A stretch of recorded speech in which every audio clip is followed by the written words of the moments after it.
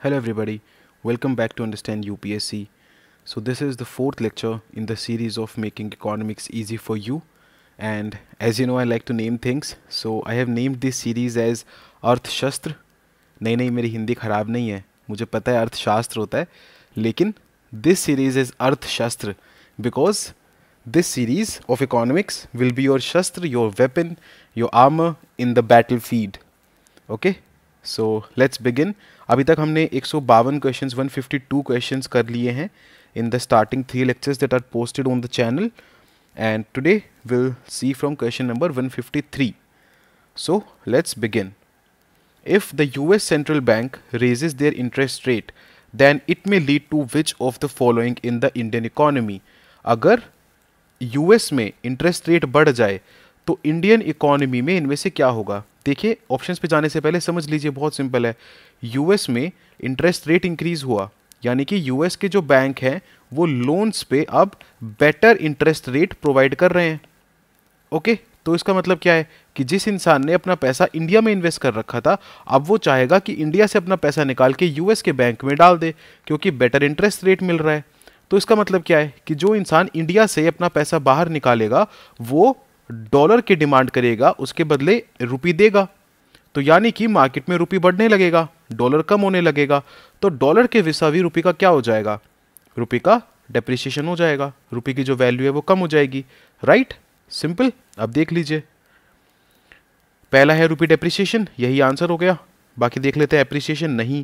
Investors moving to India नहीं। Investor will move out of India and that is why rupee will depreciate अगर investors India में आते तो rupee appreciate होता।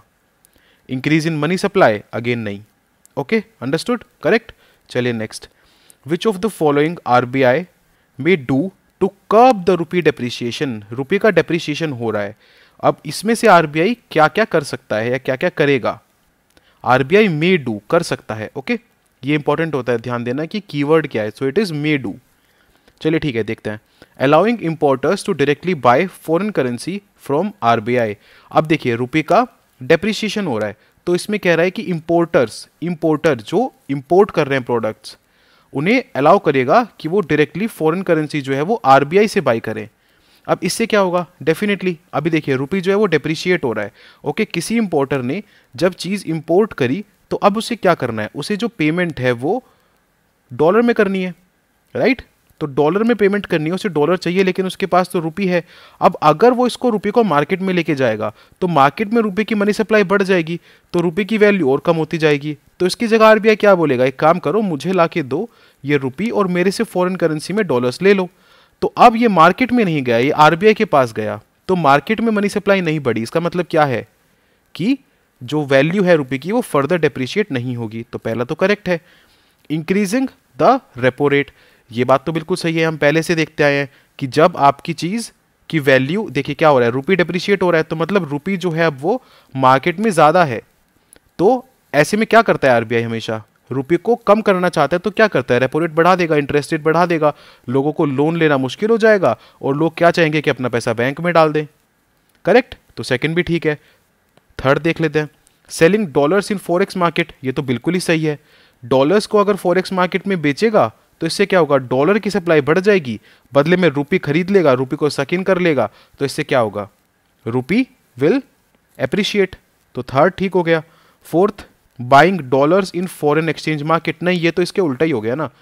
दो काउंटर स्टेटमेंट्स तो वैसे भी कभी ठीक नहीं होते। अगर आरबीआई डॉलर को बाई करने लगेगा तो इसका मतलब क्या है? कि आरबीआई बदले में रुपी दे रहा है तो रुपी और ज़्यादा बढ़ जाएगा मार्केट में रुपी की और ज़्यादा सप्लाई बढ़ जाएगी मार्केट में तो रुपी फर्दर डेप्रिशिएट हो जाएगा। तो नहीं this is not correct it is C समझ में आ रहा है ना? इट इज़ ऑल बेसिक फंडा है बिल्कुल सिंपल सा फंडा है। मार्केट में प्याज अगर बढ़ जाते हैं तो प्याज का रेट कम हो जाता है। ठीक है? प्याज डेप्रिशिएशन प्याज डिप्रिसिएशन को रोकने के लिए आप क्या करोगे? ये सोच लो। प्याज को महँगा करना है अब आपको। उसकी सप्लाई पे कंट्रोल करोगे। उसको मार्केट से सक कर लोगे। वही रुपये के साथ है। कोई बहुत बड़ा तीर नहीं है। समझ में आ गई बात? चलिए आगे चलते हैं।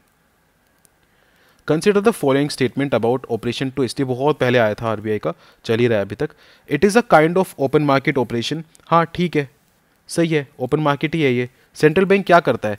यहाँ पे, देखो ध्यान से सुन लो, जो शॉर्ट टर्म की सिक्योरिटीज़ हैं, उनकी सेल कर देता है।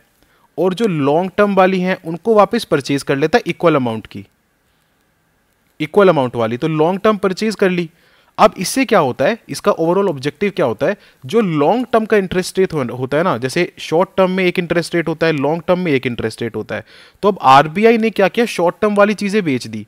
मतलब मार्केट में शॉर्ट टर्म की चीज़ें आ गई। तो जो लोगों का लॉन्ग टर्म वाला पैसा फंसा हुआ था ना, वो रिलैक्स हो गया। राइट तो अब लोग लॉन्ग टर्म वाले पैसे पे जब लॉन्ग टर्म वाली चीज़ों पे जब पैसा लगाएँगे तो वो इजी इंटरेस्ट रेट्स पे लगा सकते हैं। जो उनका पैसा पहले फंसा हुआ था, वो हट गया वहाँ से। ठीक है ये है। तो ओपन मार्केट के तरह का ऑपरेशन है हाँ बिल्कुल ठीक है कोई दिक्कत नहीं है इसमें। R B I pumps additional money नहीं। ये मैंने बोला ना इक्वल अमाउंट जितने का शॉर्ट टर्म बेचा उतने का लॉन्ग टर्म खरीद लिया। तो नहीं ऐसा कुछ नहीं होता। ठीक है सेकंड कटा तो वैसे ही आंसर आ गया आपका बाकी थर्ड देख लो फिर भी। It helps in monetary transmission ये मैंने बताया ये आपको। शॉर्ट से लॉन्ग लॉन्ग से शॉर्ट ओके okay, यही है। ट्विस्ट कर दिया ना तो मॉनिटरी ट्रांसमिशन हो गया। जो पैसा लॉन्ग टर्म में फंसा हुआ था वो शॉर्ट टर्म में आ गया। तो ट्रांसमिशन हो गया। Clear one and three which of the following statements are true regarding long term repo operation long term के रेपो ऑपरेशन के बारे में इनमें से क्या स्टेटमेंट करेक्ट है? चलो देखते हैं। It comes under liquidity adjustment facility L के अंडर आता है ये okay then the interest rate should be at or above the repo rate हाँ जनरली थोड़ा सा ज़्यादा ही होता है। हल्का सा ज़्यादा ही होता है ये। It is long term lending by RBI तो ठीक है वो तो उसने दे ही रखा है कि लॉन्ग टर्म है तो ये तो सही हो गया, ये ठीक ही है। और लिक्विडिटी एडजस्टमेंट जब आपको शॉर्ट टर्म पे एकदम मान लो ओवरनाइट चाहिए, ऐसी चीज़ों के लिए अपने उस पर करता रहता है ये। एट और अबव ही रहता है रेपो रेट पे ये। ठीक है जी? तो लॉन्ग टर्म रेपो ऑपरेशन तो सिंपल क्वेश्चन था, इसका आंसर हो जाएगा one two three one two three all of the above correct ठीक है which of the following could be the impact of long term repo operation अब इसका impact पूछ लिया, पहले पूछा, इनमें से क्या? अब इसका इम्पैक्ट पूछ रहा है, ठीक है। तो आप बोल रहे हैं कि मनी सप्लाई बढ़ जाएगी इकोनॉमी में। हाँ तो ये तो सिंपल है ना। आपने क्या किया? आपने थोड़ा और इस तरीके का दे दिया, इस तरीके की कंडीशन बना दी कि बैंक जो है वो फर्दर लोन ले सके। है ना? और ज़्यादा लोन ले सके, वो भी लॉन्ग टर्म के लिए लोन ले सके कि चलो ठीक है, आराम से वापस करते रहना। तो अब वो दे दिया उनको आपने पैसा। तो ये पैसा आगे मार्केट में तो जाएगा ही। तो मनी सप्लाई बढ़ेगी। सिंपल सी बात है। मनी सप्लाई बढ़ती है तो इन्फ्लेशन भी बढ़ती है थोड़ी बहुत। ये भी सही है। करेक्ट और अब बोल रहे हैं increase in interest rate and increase in liquidity with bank तो देखो बैंक में तो लिक्विडिटी बढ़ी रही है, ये तो ठीक है तो वन टू फोर तो करेक्ट है, हमारा आंसर तो आ गया, लेकिन ये समझो इंटरेस्ट रेट के साथ क्या होगा? देखो, अगर बैंक के पास ज़्यादा पैसा है बैंक को आगे लेंड करना है, और वो इंटरेस्ट रेट बढ़ा देगा तो वो कहाँ से लेंड करेगा? आप लोगे क्या बैंक से अगर ब्याज महँगा हो गया तो? नहीं लोगे ना? आप ये चाहोगे ना कि ब्याज की जो दरें हैं वो कम हो। सिंपल सी बात है ना? तो बैंक अगर इंटरेस्ट रेट को बढ़ा देगा तो कहाँ से लेंड करेगा? फिर जो वो लॉन्ग टर्म रेपो ऑपरेशन में पैसा ले लिया आरबीआई से, उसे रख के क्या यू नो कुछ कर, क्या करेगा उसका? तो ठीक है, फिर इसका मतलब interest rate should come down तो तीसरा, खत्म. वन टू फोर हो गया. सिंपल था बहुत. इकोनॉमिक्स इज़ वेरी सिंपल अगर आप इसको अपने दिमाग में कॉम्प्लिकेट ना करें सिंपल करके सोचें। चलिए जी नेक्स्ट देख लेते हैं। Which of the following could be the reason reasons for the deficit in banking system की लिक्विडिटी इनमें से क्या एक रीजन हो सकता है बैंकिंग सिस्टम की लिक्विडिटी में डेफिसिट का? ओके ठीक है तो पहले बोल रहे हैं अपटेक इन बैंक क्रेडिट तो ठीक है बैंक से क्रेडिट ज़्यादा चला गया, लोगों ने ज़्यादा लोन ले लिया तो ठीक है सिंपल है बैंकिंग में लिक्विडिटी कम रह गई, इसमें तो कोई बड़ी बात नहीं है। Advance tax payments by corporates corporates की एडवांस टैक्स पेमेंट तो टैक्स पेमेंट पहले कर दी तो इसका मतलब बैंकों से थोड़ा बहुत पैसा निकालना पड़ा होगा टैक्स पेमेंट करने के लिए। तो ठीक है, ये भी हो सकता है। Incremental deposit growth not keeping pace with credit demand ये तो नाम से पता चल रहा है। ये तो सिंपल ही है। Deposit growth incremental not keeping pace with the credit demand मतलब जो क्रेडिट की जो डिमांड है, वो बहुत ज़्यादा हो रही है और उतना जो डिपॉजिट ग्रोथ है, वो हो नहीं रहा है। तो क्रेडिट या लोन लोग ज़्यादा ले रहे हैं। एंड लास्ट क्या intervention of the RBI into forex market to prevent rupee depreciation RBI ने फॉरेक्स के मार्केट में रूपी के डेप्रिसिएशन के लिए इंटरवीन कर दिया। मतलब समझो उसका क्या है? रूपी डेप्रिसिएशन हो रहा है तो आरबीआई क्या करेगा? मतलब रूपी की वैल्यू कम हो रही है तो आरबीआई क्या करना चाहेगा कि मार्केट से रुपये को सक कर ले। अब आरबीआई जब मार्केट से रुपये को सक कर लेगा, लोगों के पास से रुपये को वापस ले लेगा तो अब क्या होगा? लोग बैंक में अपना पैसा उतना नहीं डाल पाएँगे तो बैंक के पास लिक्विडिटी नहीं आ पाएगी उतनी। बात समझ में आई? करेक्ट समझ गए? तो ये भी करेक्ट आंसर हो गया ऑल ऑफ़ द बताओ कितना सिंपल है। क्या आपको इसमें रटने की ज़रूरत है? बेसिक कॉन्सेप्ट समझ जाओ एक बार। Banking system liquidity has turn into surplus what could be the probable reasons banking system में जो लिक्विडिटी थी, अब वो ज़्यादा हो गई है। ठीक है, आप बोल रहे हैं कि क्या इसके प्रोबेबल रीज़न हो सकते हैं। Okay currency leakage and government expenditure not picking up currency leakage का मतलब क्या होता है? देखिए करेंसी लीकेज का मतलब होता है कि बैंक से पब्लिक के पास करेंसी का फ्लो आउट होना। तो अगर बैंक के पास से करेंसी चली जाएगी लीक कर जाएगी तो इसका मतलब क्या होगा? सरप्लस है कि कम है? अब तो लिक्विडिटी कम हो गई ना। और दूसरा क्या है? Government expenditure not picking up तो जो गवर्नमेंट का एक्सपेंडिचर है गवर्नमेंट एक्सपेंड कर रही है गवर्नमेंट मनी दे रही है पब्लिक को दे रही है, लेकिन अब वो पिकअप कर ही नहीं रहा है। वो हो ही नहीं रहा है उतना। Right government expenditure is not picking up not picking up तो लिक्विडिटी कहाँ से सरप्लस में आएगी? नहीं। तो ये भी गलत, ये भी गलत आंसर क्या हो गया आपका? Neither one and two neither one not two okay consider the following statements regarding the monetary policy followed by RBI it follows flexible inflation target सही बात है। कितना होता है? फोर प्लस माइनस टू तो ये जो प्लस माइनस टू है फ्लेक्सिबल ही है। ठीक है करेक्ट ये भी खत्म, ये भी खत्म। देखो कितना सिंपल हो गया क्वेश्चन ऐसे ही होता है। Well inflation is in control RBI can focus on growth सही बात है ना? अगर इन्फ्लेशन कंट्रोल में है तो अब ग्रोथ पे फोकस करो। जब इन्फ्लेशन ही कंट्रोल में नहीं होती है तो पहला फोकस इन्फ्लेशन पे जाता है, क्योंकि प्राइमरी टारगेट आरबीआई का इन्फ्लेशन टारगेटिंग है। सिंपल करेक्ट तीसरा भी देख लो, चलो। Financial stability is the explicit mandate of monetary policy नहीं फ़िज़िकल पॉलिसी भी तो है।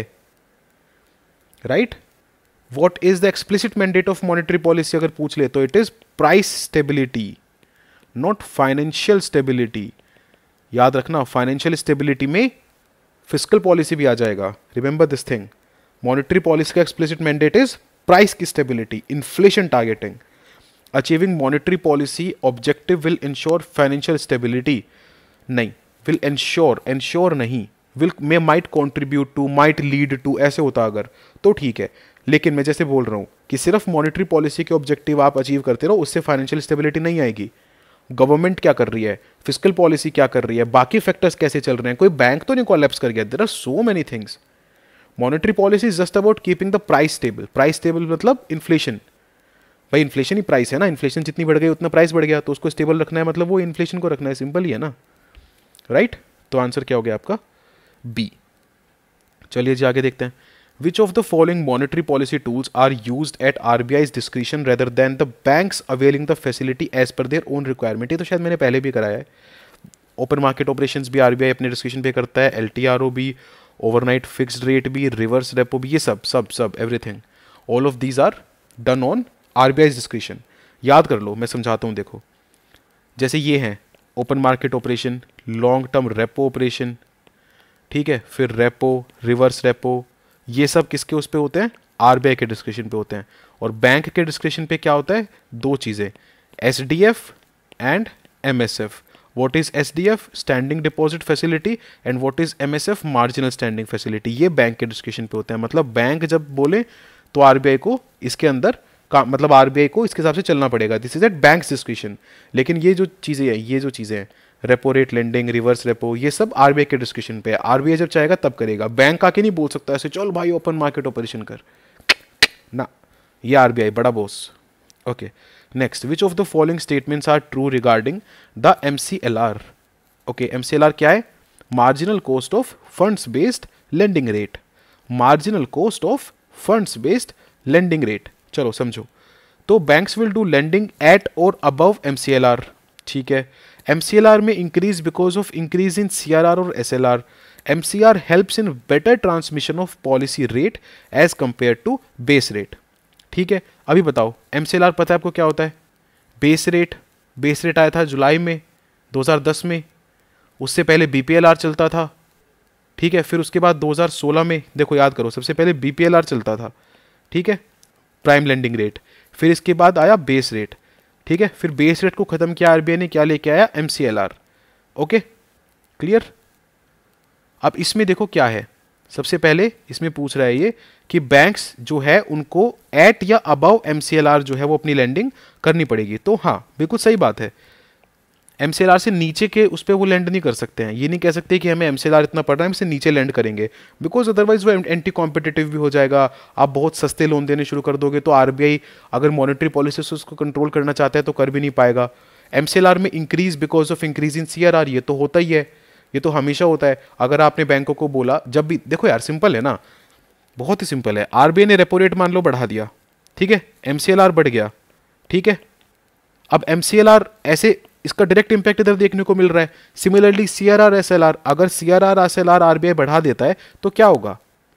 जो फंड अवेलेबल है टू द बैंक देखो, समझो इसको, सुनो, बहुत ध्यान से सुनो। C R R S L R क्या है एक तरह से? भाई बैंक के पास सौ रुपए थे लैंड करने के लिए। उसमें से आरबीआई ने बोला, भाई, बीस तू इधर रख दे, बीस ये तू लैंड नहीं करेगा। लेकिन इन बीस ये जहाँ से डिपॉजिट होकर आए थे, उस पर वो तो देना पड़ रहा है ना बैंक को ब्याज तो देना पड़ रहा है ना आपको आपके सेविंग्स डिपॉजिट पे। लेकिन इसको लेंड नहीं कर सकता। तो ये कॉस्ट हो गई ना बैंक की। ये जो फालतू इंटरेस्ट रेट देना पड़ रहा है, अब ये C R S L R maintain करने के चक्कर में, ये बैंक को कॉस्ट पड़ गई। तो अगर आप इसको बढ़ाते जाओगे बढ़ाते जाओगे बढ़ाते जाओगे तो बैंक को एक कॉस्ट कहीं से तो निकालनी पड़ेगी ना तो वो अपना एम सी एल आर को इंक्रीज कर देगा।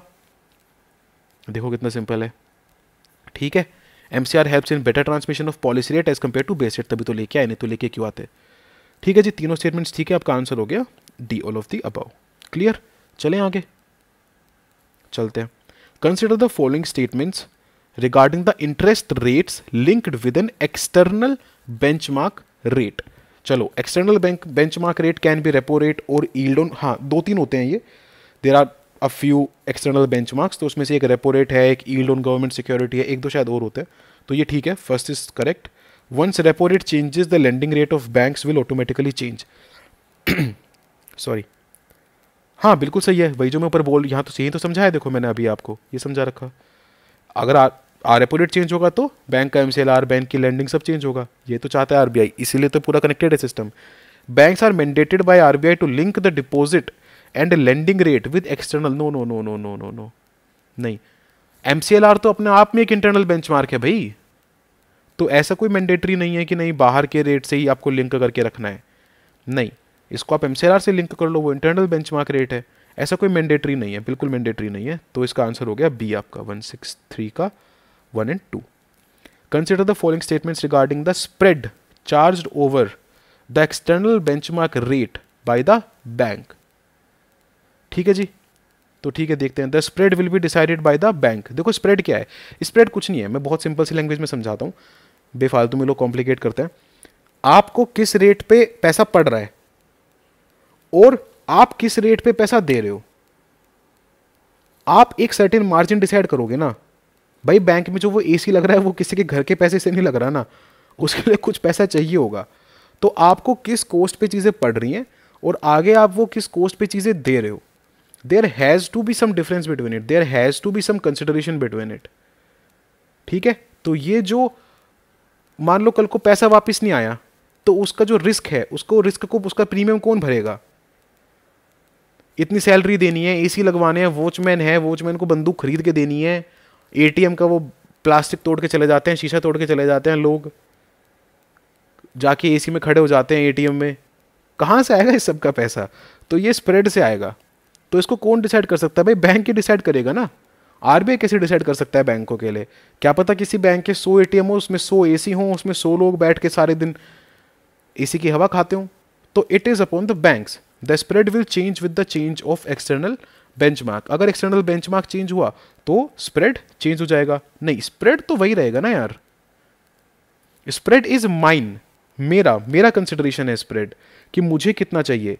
आप एक, मेरा बेंचमार्क चेंज करो तो मेरी लैंडिंग का रेट चेंज हो जाएगा, लेकिन मेरा उसके बीच का स्प्रेड तो उतना ही रहेगा ना। वो जो बीच का ऑपरेशनल कॉस्ट है, वो जो बीच का रिस्क प्रीमियम है, वो तो उतना ही रहेगा ना। तो नहीं, ये गलत है।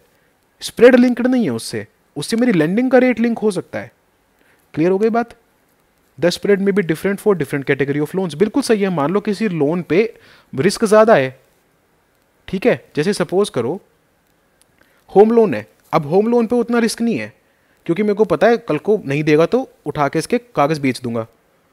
घर हथिया लूँगा इसका। लेकिन एजुकेशन लोन है। और भाई बहुत दिक्कत है इसमें तो। मान लो आप नालायक निकले। आप नहीं मतलब आपका पड़ोसी नालायक निकला। नहीं लगी उसकी जॉब बैंक का पैसा तो डूब गया।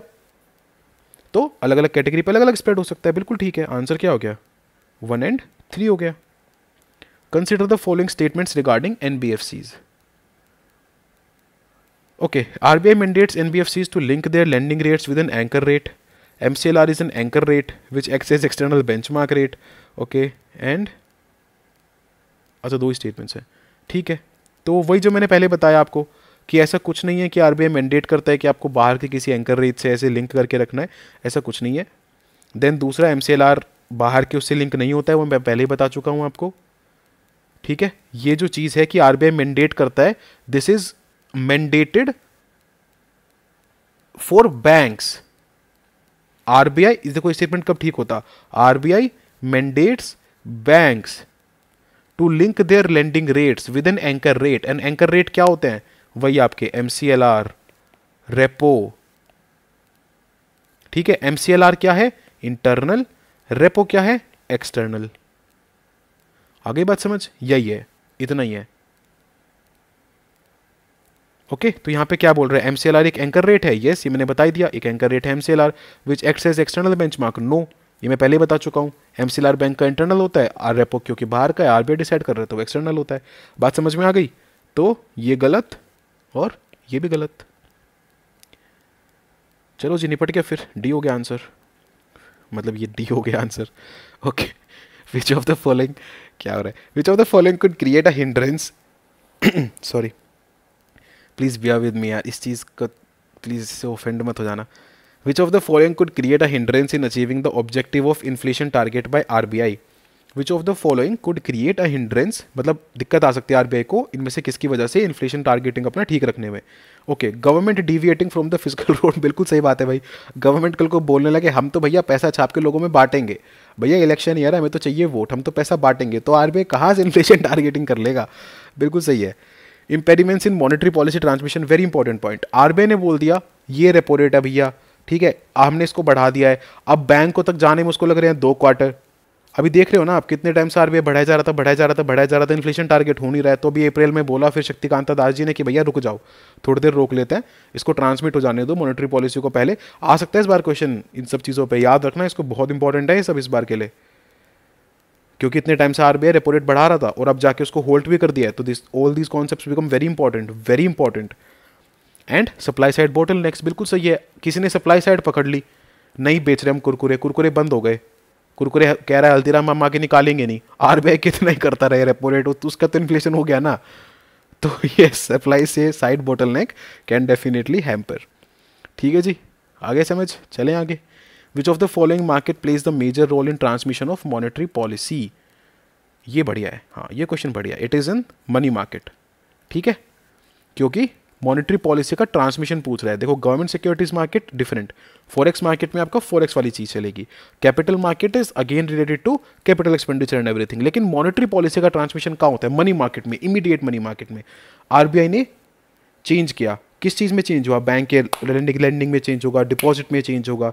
So all of this is taking place in the money market good ठीक है? समझ गए सर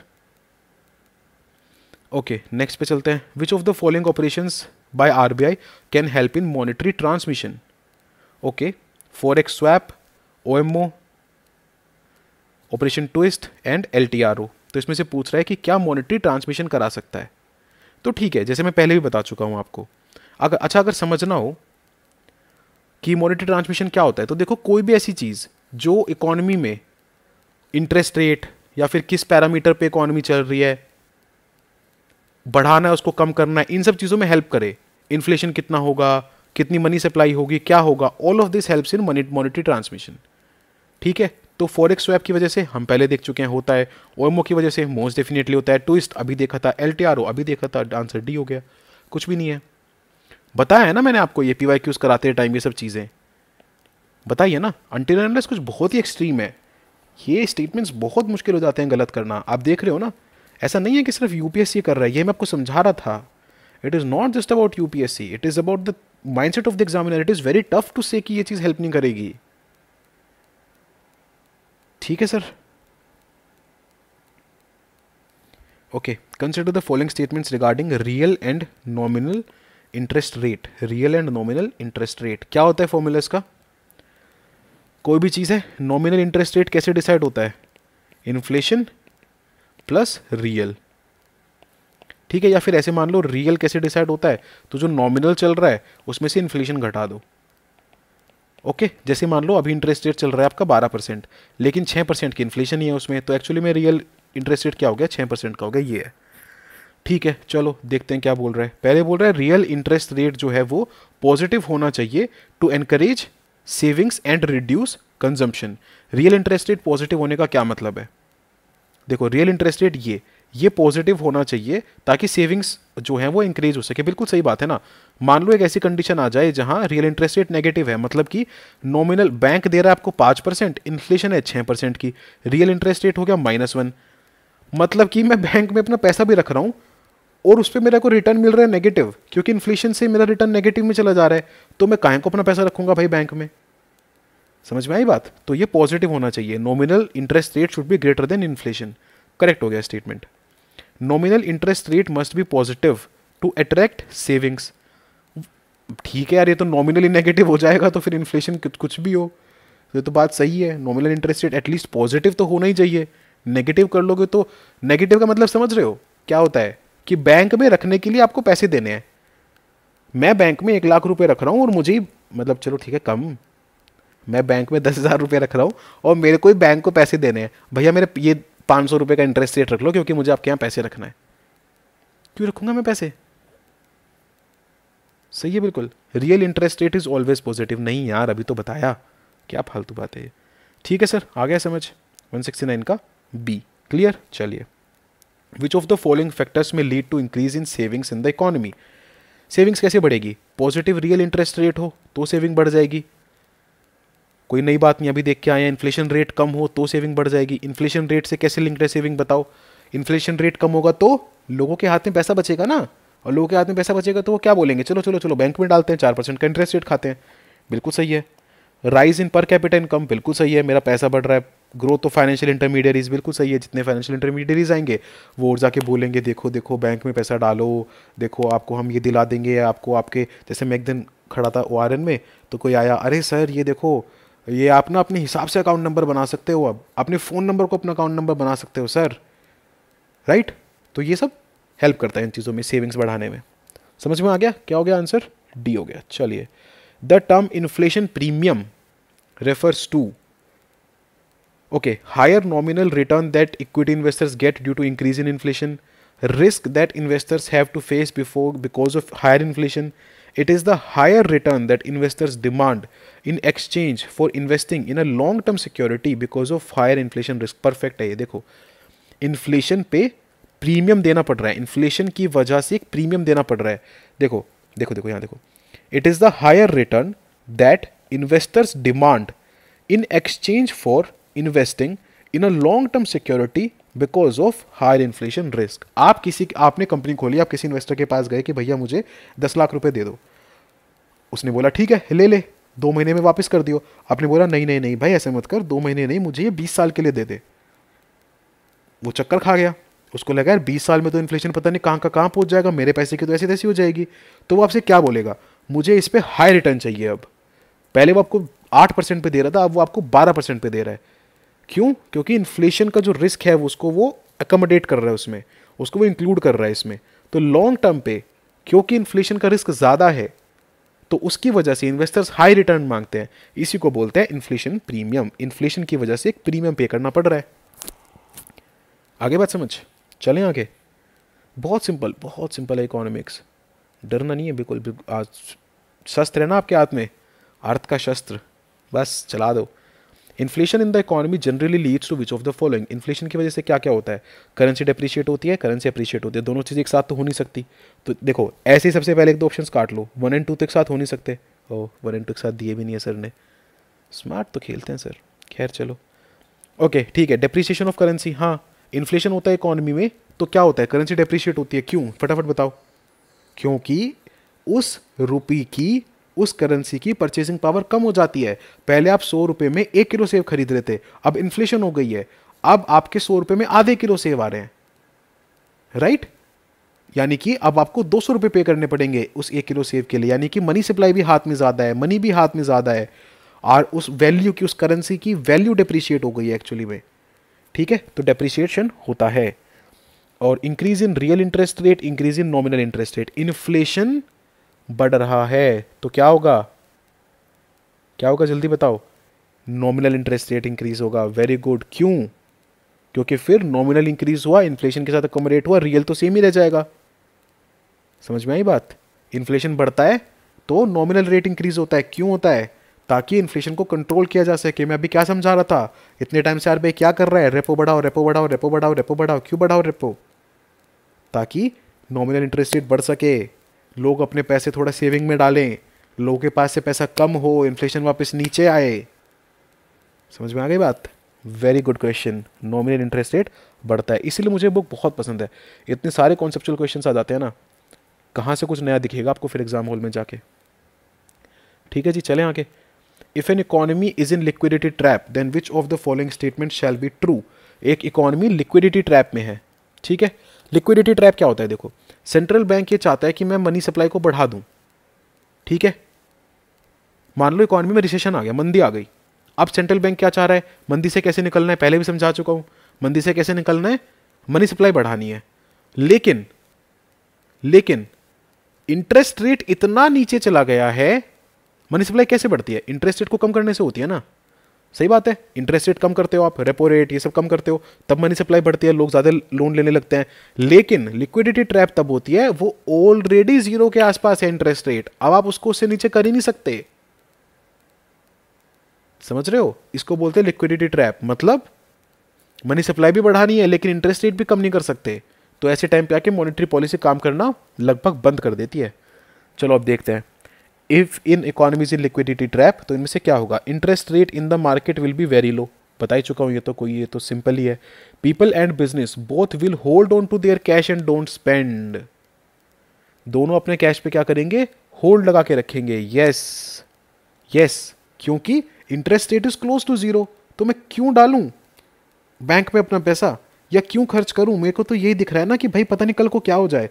तो in such a condition what I would want is that my money is safe with me तो मैं नहीं चाहूँगा कि ऐसा कुछ भी हो जाए। तीसरा स्टेटमेंट क्या है? Yield on bond will be very less interest rate से लिंक है ये तो। इंटरेस्ट रेट क्या है? एकदम कम है। तो ईल्ड क्या है? एकदम कम है। ठीक है? ये तो डायरेक्टली लिंक्ड है, इसमें तो कोई बड़ी बात है नहीं। तो ठीक है? इंटरेस्ट रेट और, ये तो मैंने समझाया ना पहले ऊपर बॉन्ड वाले लेक्चर में interest rate and yield are directly proportional ठीक है, ये चीज़ मैं समझा चुका हूँ तो ईल्ड भी कम रहेगी। Demand deposit of bank increases जो डिमांड डिपॉजिट है, वो इंक्रीज हो जाएगा बैंक का। ठीक है? तो इस वाले स्टेटमेंट को हम देख लेते हैं। हाँ ओके ओके ठीक है। ये क्या बोल रहा है? लिक्विडिटी ट्रैप में इकोनॉमी है तो लोगों, जो डिमांड डिपॉजिट्स हैं बैंक के, वो इंक्रीज हो जाएँगे। या तो देखो, लोग अपना कैश होल्ड कर रहे हैं, ठीक है? यानी कि खर्च नहीं कर रहे। खर्च क्यों नहीं कर रहे? क्योंकि मार्केट में अभी खर्च करने लायक है नहीं, लोगों को सबको डर लग रहा है कि पता नहीं क्या होने वाला है। तो लोग जो है वो अपना कैश होल्ड कर रहे हैं। तो अब होल्ड करें, चाहे जेब में करें होल्ड चाहे बैंक में होल्ड करें, फ़र्क तो कुछ पड़ने नहीं वाला है। रिसेशन चल रहा है वैसे भी रिसेशन चल रहा है तो डिमांड वैसे ही नहीं है। तो डिमांड नहीं है तो खर्च करेंगे कहीं पे। बात समझ में आ रही है? तो जब डिमांड नहीं है तो लोग अपना कैश अपने पास होल्ड करके रख रहे हैं। अब अपने पास रखो, या फिर मान लो 0.25 परसेंट का इंटरेस्ट रेट है, उसको बैंक में डाल दो। ठीक है? तो एक ही बात है तो फोर्थ पे करेक्ट हो सकता है। तो hold on to their cash देखो यहीं से निकल गया ना ये। Hold on to their cash cash don't spend तो स्पेंड नहीं करेंगे। जो कंजम्पशन है, वो डाउन हो जाता है। जो सेविंग्स है, वो अप हो जाती है। तो सेव चाहे अपनी जेब में करो, चाहे बैंक में करो, दोनों में लगभग सेम ही बात है, क्योंकि यहाँ पे भी ज़ीरो के आसपास ही है इंटरेस्ट रेट तो हो सकता है थोड़ा बहुत बढ़ जाए बट ऐसा नहीं है कि नहीं, बहुत ही बढ़ जाएगा। बहुत ज़्यादा नहीं बढ़ जाएगा, क्योंकि लोग सोचेंगे, यार, ठीक है पॉइंट टू फाइव ही है, अपनी जेब में रख लेते हैं। चाहो तो बाहर कर दो it is up to you तो इट इज़ मतलब चाहो तो बैंक में डाल दो। तो आंसर क्या हो गया? डी हो गया। Consider the following statement inflation become benefits creditors या benefit debtors benefit bond holders या बेनिफिट डिपॉजिटर्स बहुत बड़ा क्वेश्चन लगता है मुझे ये, ठीक है? चलो समझते हैं। इन्फ्लेशन जो है वो किसको बेनिफिट करता है? देखो, आपने किसी इंसान को सौ रुपये दिए ओके अब वो इंसान अगले साल कह रहा था कि भैया मैं सूद समेत एक सौ पाँच रुपये वापस कर दूँगा। पाँच रुपये का इंटरेस्ट रेट लगा लेना, मैं सूद समेत पैसे आपके वापस कर दूँगा। चलो ठीक है, आप खुश हो गए कि अगले साल एक सौ पाँच रुपये मिलेंगे। इन्फ्लेशन हो गई एक साल में छः परसेंट। छः परसेंट इन्फ्लेशन हो गई तो क्या हुआ? अगले साल वो आया, लो भाई एक सौ पाँच रुपये ले लो। एंड यू आर लाइक यार, ये पैसे मेरे पास होते तो एक सौ छः हो जाते। अब ये मेरे को एक सौ पाँच दे के जा रहे तो मेरा तो नुकसान हो गया। तो एन तो सबसे पहले हमें क्या समझ में आया? इन्फ्लेशन जो है वो क्रेडिटर के लिए नुकसानदेही होती है। बात समझ में आ गई? पहली चीज़ समझ में आ गई? तो ये तो नहीं है। बेनिफिट तो नहीं करती है। अब देखो डेटर को कैसे बेनिफिट करती है? How does it benefit the debtor देखो, आपने पैसे लिए थे उस बंदे से। अब आपने पैसे लिए, आप किसी चीज़ में इन्वेस्ट करना चाह रहे हो। ठीक है, आपका पैसा तो वो है नहीं, वो तो आपने लोन पे ले रखा है। आपको तो इंटरेस्ट रेट पे उतना ही चुकाना है, जितना प्री डिसाइडेड है। अगर वो आपका पैसा होता तो इन्फ्लेशन की उस पर मार पड़ती। लेकिन अभी तो वो मार पड़नी नहीं है। अभी तो आपको उतना ही चुकाना है। अगर आपका पैसा होता तो उसकी वैल्यू कम हो जाती। समझ रहे हो? इन्फ्लेशन में मैंने क्या समझा है? सौ रुपए आपके पास है इन्फ्लेशन बढ़ गया तो उसकी वैल्यू कम हो गई। लेकिन अब तो जो पैसे की जिसकी वैल्यू कम हो रही है, वो उस बंदे का है ना? आपको तो है नहीं वो। तो इट हैज़ बेनिफिटेड यू समझ में आ गई बात? तो बेनिफिट्स द डेटर्स अच्छा इस केस में बॉन्ड होल्डर और डिपॉजिटर के केस में, ना किसी को बेनिफिट होता है, ना कुछ होता है। बेनिफिटर सिर्फ़ डेटर होता है। जो बॉन्ड होल्डर होते हैं डिपॉजिटर होते हैं क्रेडिटर होते हैं, इन सब के साथ क्या दिक्कत होती है? इन सब का पैसा लूज होता है। इन्फ्लेशन से इन सबको दिक्कत आती है। देखो, इनमें ना सिमिलैरिटी ढूंढ लो ना। देखो, जो पैसा दे रहा है, उसकी बैंड बज रही है। क्या क्या रूल पढ़ाया मैंने आपको? जो पैसा दे रहा है, उसकी बैंड बज रही है। जो मनी लेंड कर रहा है, उसको नुकसान हो रहा है लूज हो रहा है उसका। उसका लॉस हो रहा है लूज क्या? उसका लॉस हो रहा है। कैसे? देखो क्रेडिटर था, इसने भी पैसे दिए बॉन्ड होल्डर बॉन्ड होल्डर ने पहले पैसे दिए थे, अब उसके कुछ नहीं हो रहा है। इन्फ्लेशन की वजह से जो उसको वापस इंटरेस्ट रेट मिलना था इन्फ्लेशन उसको खा गया तो इसका भी नुकसान हुआ। डिपॉजिटर के साथ भी सेम है।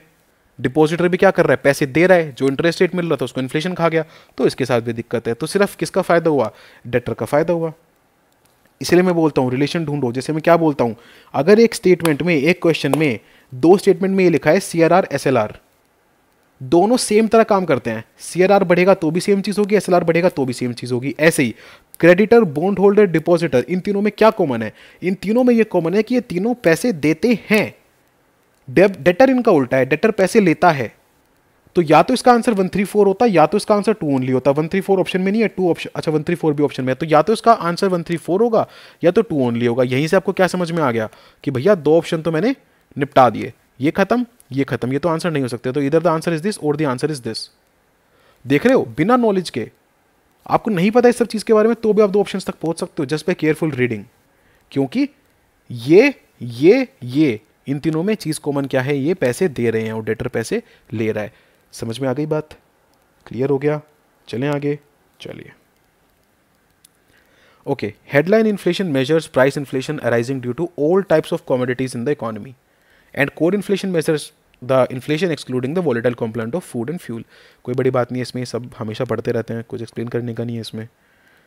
If a country is experiencing inflation then what will decrease उस कंट्री में क्या डिक्रीज हो जाएगा? सीधी सी बात है ना, उसके रुपये की वैल्यू कम हो जाती है, उसकी परचेसिंग पावर डिक्रीज हो जाती है। कितनी बार बढ़ा चुका हूँ तो कुछ नहीं है इसमें। Which of the following will be the outcome if an economy is under inflationary pressure अगर एक इकॉनमी में इन्फ्लेशन ज़्यादा बढ़ रहा है तो इनमें से क्या क्या होगा? डोमेस्टिक करेंसी डिप्रिशिएट हो जाएगी, सो बार बात कर चुके हैं।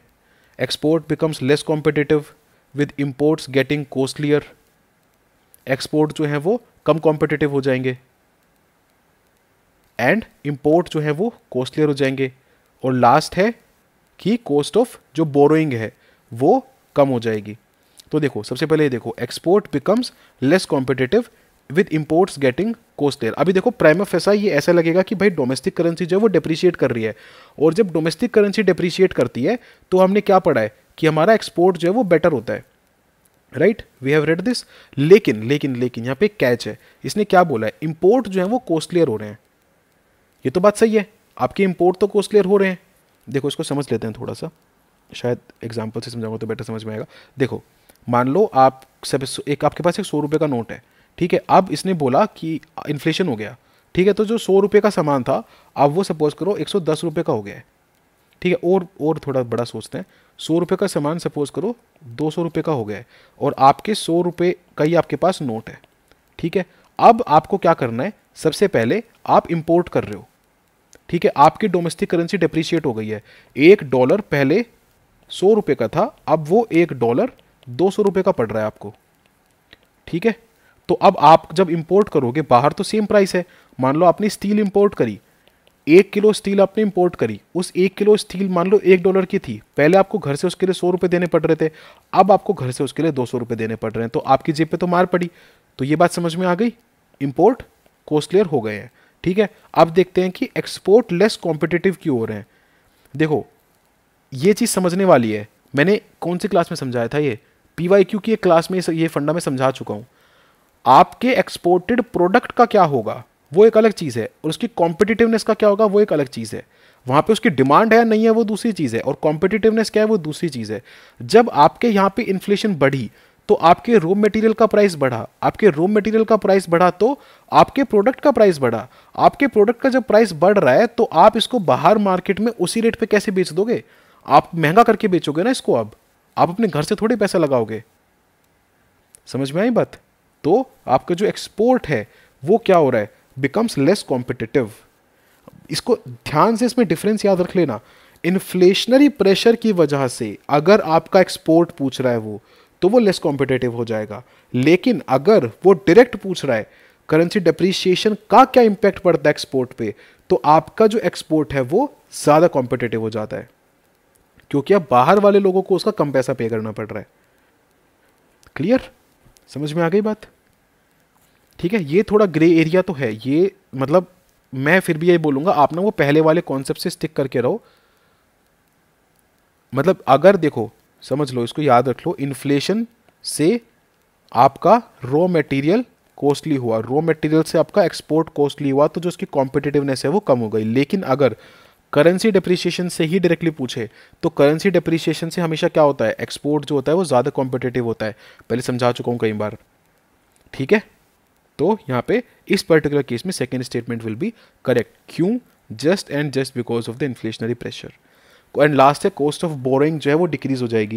ये मैं पहले बता ही चुका हूँ इन्फ्लेशन बढ़ता है तो कॉस्ट ऑफ़ बोरोइंग क्या हो जाएगी आपकी? इंक्रीज हो जाएगी। इसलिए क्या होता है वो? डेटर को बेनिफिट भी कर रहा है।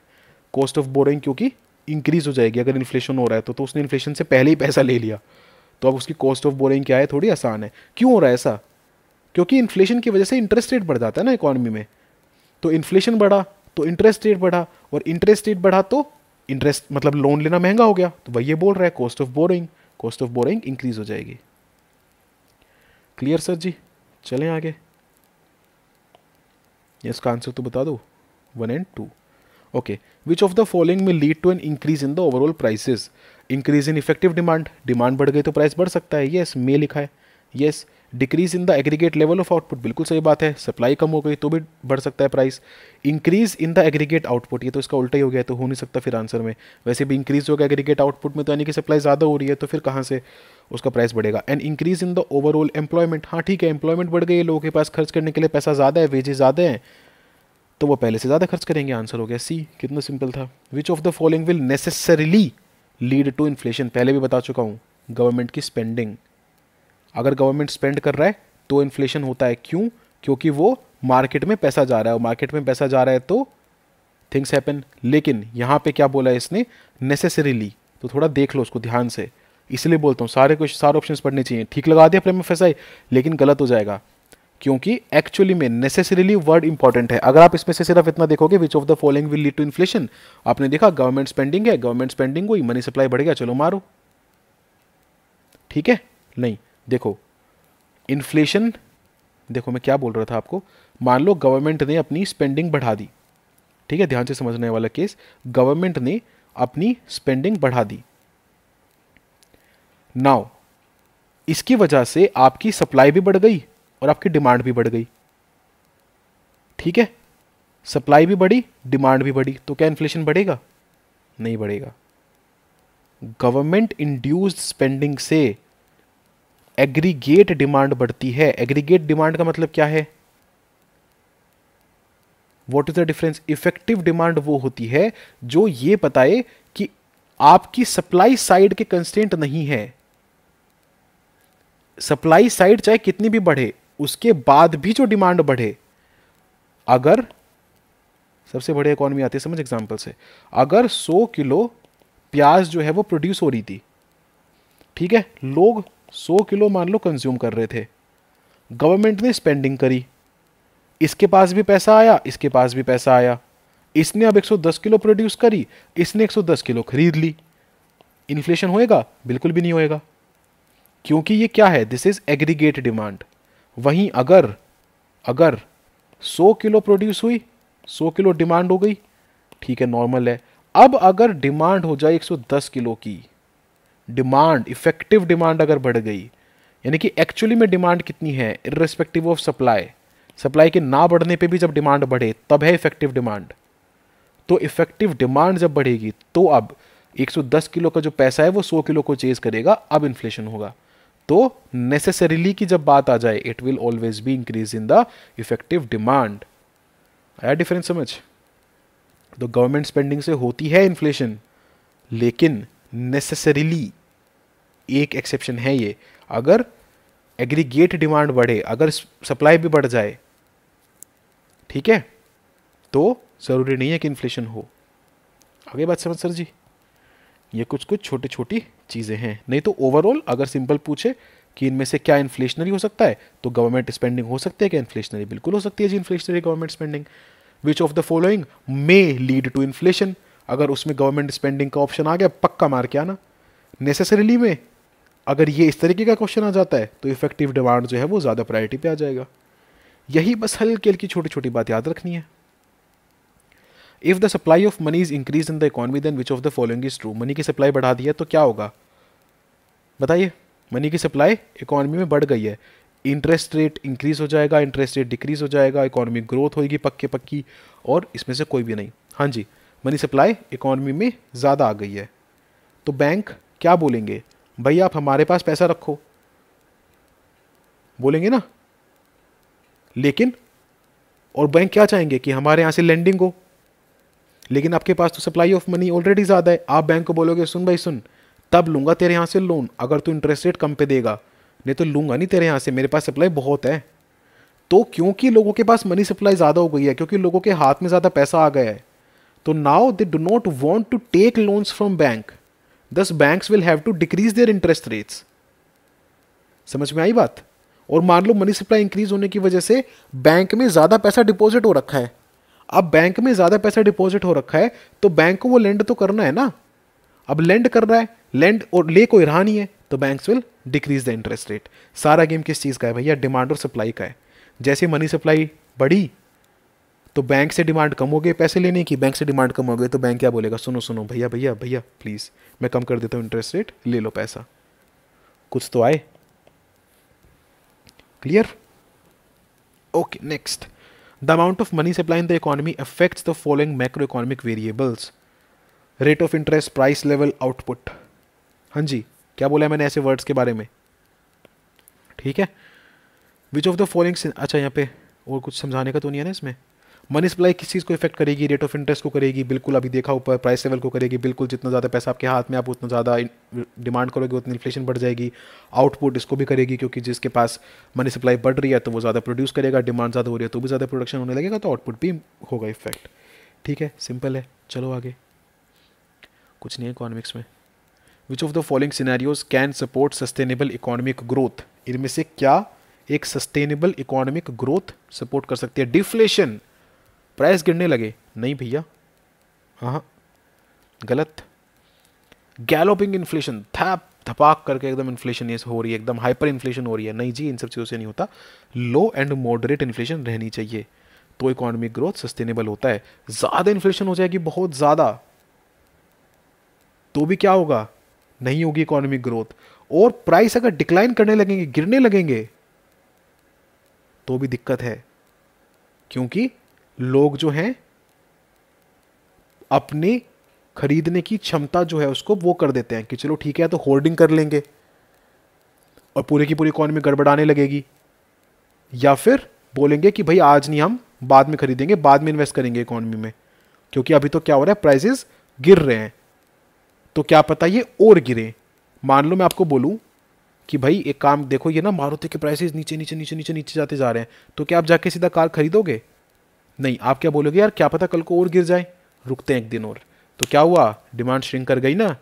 यही होता है। डिमांड गिर जाने लगेगी और डिमांड गिरते गिरते गिरते गिरते फिर इकोनॉमी कोलैप्स होने लगेगी। तो we do not want deflation we do not want very high inflation what do we want a low and moderate kind of inflation समझ आ गया जी? Which of the following are the reason that make a moderate level of inflation good for the economy लो, अगला question इसी के basis पे आ गया। इसलिए मेरे को बुक अच्छी लगती है। आपने कॉन्सेप्ट पढ़ा आप उसको और समझ लो। क्योंकि कंजम्पशन लेवल बढ़ाती है। हाँ ठीक है। It keeps the business profitable थोड़ा थोड़ा पैसा आता रहेगा। कंजम्पशन लेवल बढ़ता रहेगा। ज़्यादा डिमांड होती रहेगी। It induces people to save more सब सही है, सब सही है। दीज आर गुड पॉइंट्स ठीक है। हल्की हल्की इन्फ्लेशन हो रही है। बहुत ज़्यादा नहीं हो रही है। लोग चाहेंगे कि मैं अपना पैसा सेव कर लूँ। ठीक है। बैंक जो है वो इन्फ्लेशन रेट से कुछ ज़्यादा इंटरेस्ट रेट देंगे। तो लोग अपना पैसा बैंकों में डालेंगे, लोग अपना पैसा बैंकों में डालेंगे। तो आगे क्या होगा? बैंक लैंड कर पाएगा बिज़नेस अच्छे रहेंगे, चलते रहेंगे, लोग ज़्यादा खरीदते रहेंगे चीज़ें। ठीक है धीरे धीरे प्राइस बढ़ रहे हैं, क्योंकि तो लोग क्या सोचेंगे? ठीक है, एक काम करते हैं, खरीद लेते हैं। नॉर्मल से प्राइस बढ़ रहे हैं, बहुत तेज़ प्राइस बढ़ जाएगा। आज सौ रुपये किलो दाल है, कल दो सौ रुपये किलो हो खरीदोगे? नहीं, आप बोलोगे काम करते घिया खा लेते हैं। समझ में आ गई बात? तो हल्का हल्का मंद मंद धीमे धीमे धीमे धीमे आपकी इन्फ्लेशन बढ़ती है तो इकोनॉमी के लिए अच्छी होती है। वन एटी थ्री का आंसर हो गया D okay consider the following statements regarding an economy facing deflation deflation हो रही है जी।